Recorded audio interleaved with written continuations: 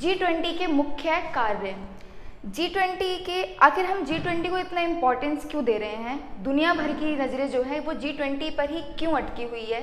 ये G twenty आखिर होता क्या है? ये कैसे काम करता है? इसके बारे में हम पढ़ेंगे। तो जी ट्वेंटी के जो मुख्य कार्य है वह अं-, अंतर्राष्ट्रीय स्तर पर आर्थिक नियंत्रण रखना आर्थिक सहयोग प्रदान करना यह इसके कुछ मुख्य कार्य हैं। इसके अलावा भी कुछ बेसिक पॉइंट्स हैं, जिस पे जी ट्वेंटी जो है, वो विचार विमर्श करता है। वह बेसिक पॉइंट हैं, जैसे कि आतंकवाद हो गया, जलवायु हो गया, स्वास्थ्य हो गया, या मानव तस्करी हो गई। इन सब मुद्दों पर भी जी ट्वेंटी बहुत जी ट्वेंटी बैठ कर अपनी वार्ता वार्ता विमर्श करता है। भारत के लिए जी ट्वेंटी इतना अहम क्यों है? भारत के लिए जी ट्वेंटी इतना अहम क्यों है? क्यों दुनिया की नज़रें अब भारत पर ही टिकी हैं?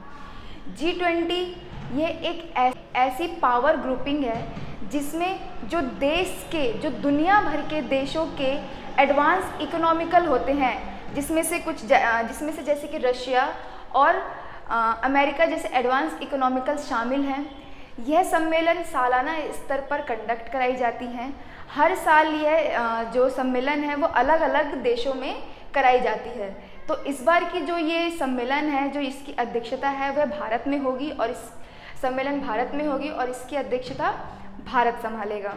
भारत के लिए इतना अहम क्यों है जी ट्वेंटी भारत के, ये भारत के लिए इतना अहम इसलिए है क्योंकि भारत के पास एक बहुत बड़ा मौका आया है अपनी ताकत को दुनिया वालों के सामने प्रेजेंट करने का। अपने कल्चर को दुनिया वालों के सामने प्रेजेंट करने का। यह एक ये भारत के पास एक बहुत बड़ा मौका आया है। जी ट्वेंटी ये एक ऐसा ग्रुप है जिसमें पूरे विश्व का 80 प्रतिशत जी और दो तिहाई प्रतिशत जनसंख्या को होल्ड करता है। इसमें 200 प्लस मीटिंग कंडक्ट कराई जाएँगी।